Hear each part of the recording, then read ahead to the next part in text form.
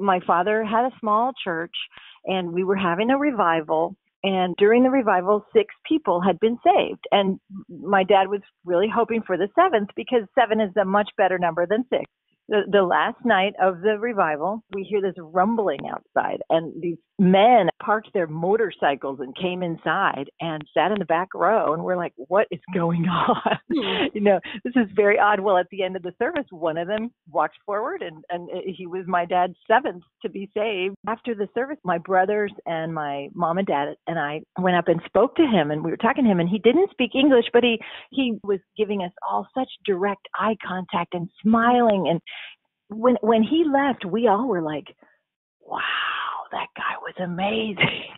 And of course, we never saw him again. He was just yeah. our number seven. But it just was this sense of like encouragement that he gave us, all of us in different ways.